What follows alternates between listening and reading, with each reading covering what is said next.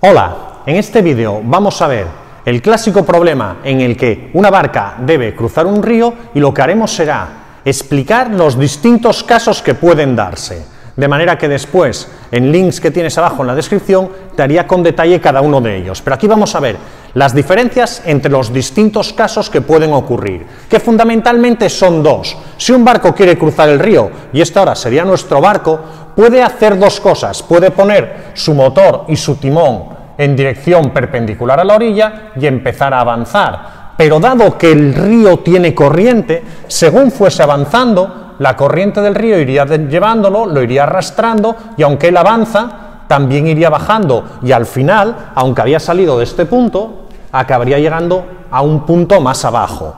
Esto ocurrirá siempre que él ponga su timón y su motor en dirección perpendicular a la orilla.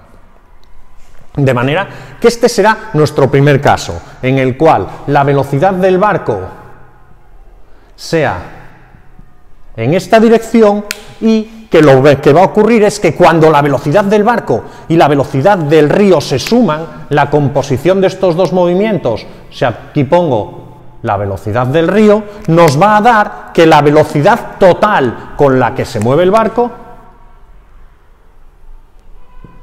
esta sea la velocidad total, sea con un cierto ángulo respecto de la orilla y haría llegar al barco a un punto aquí más abajo.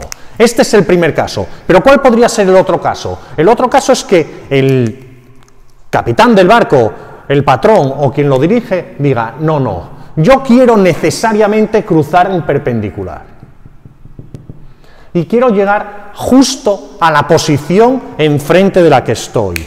¿Qué es lo que debe hacer? Lo que debe hacer es, dado que él ya sabe cuál es la velocidad del río, debe poner su motor y su timón en una dirección en la que en parte luche contra la velocidad del río, es decir, hacia arriba, y que la composición de estos dos movimientos, la suma de estos dos, diese que la velocidad total del barco fuese esta. De manera que aquí tendría la velocidad del río, esta velocidad del barco entiendo que es la velocidad que son capaces de provocar los motores del barco, velocidad del barco, y al final el barco efectivamente llegará a una posición justo enfrente de la que estaba. Bien, pues entonces, estos serían los vectores, pero ¿cómo interpretamos este movimiento? Tenemos que interpretar si en el eje X pensamos que está el avanzar para cruzar el río, en el eje X aquí va a tener un movimiento rectilíneo y uniforme, y la velocidad en este eje X es la velocidad del barco. De manera que todo el esfuerzo del motor del barco se centra en avanzar para cruzar el río y va a tardar en cruzar el río exactamente el mismo tiempo que si no hubiese corriente. De manera que si sabes el espacio, es decir, cuál es la longitud del río, la velocidad del barco en el eje X, por el tiempo puedo calcular de esta forma el tiempo que tarda en cruzar el río. La longitud del río partido de la velocidad que tiene. Y en el eje Y, si este entiendo que es el eje Y, ¿qué es lo que ocurre? Que en el eje Y también va a haber un movimiento rectilíneo y uniforme. ¿Y cuál es la velocidad que tiene este barco en el eje Y, la velocidad en el eje Y es exactamente la velocidad del río.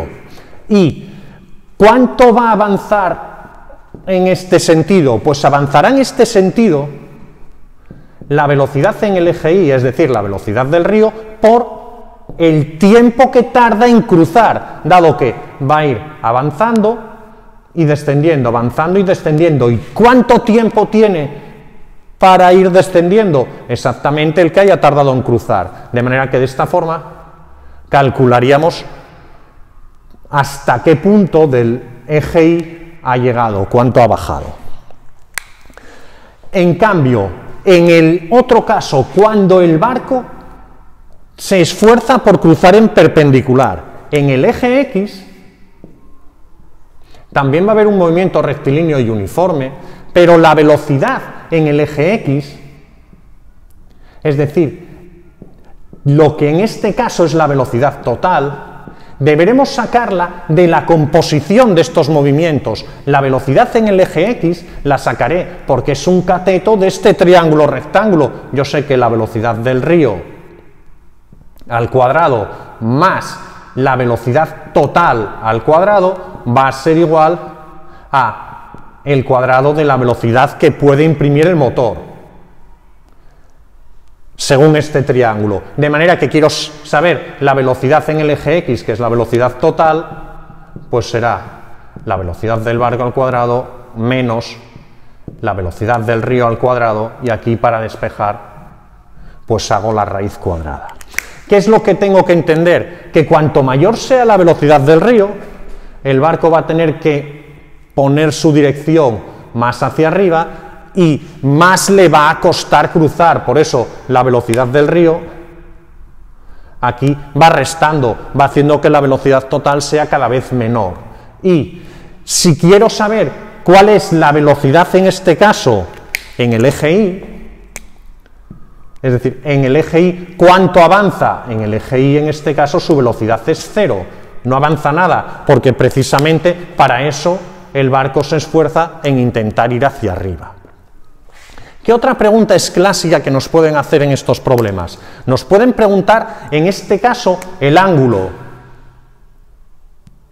Bien este ángulo o bien el ángulo respecto de la orilla. Si me preguntan el ángulo para este caso, yo aquí tengo que pensar que la velocidad del río y la velocidad del barco son dos catetos de este triángulo, que la velocidad del río es el cateto opuesto, de manera que la tangente del ángulo alfa, este ángulo que estoy poniendo en este caso es cateto opuesto, velocidad del río, partido de cateto contiguo, velocidad del barco, y que entonces sacaría el ángulo alfa diciendo que es el arco cuya tangente es este cociente, velocidad del río, partido de velocidad del barco, que obtendría con la calculadora. Claro, si el que me preguntan fuese este otro ángulo, este otro ángulo el ángulo respecto de la orilla, si aquí lo quiero llamar beta, este ángulo respecto de la orilla beta sería 90 menos alfa. Claro, si este es 20, este es 70, o si este es 10, este sería 80, ¿no? Lo ves claramente en el diagrama.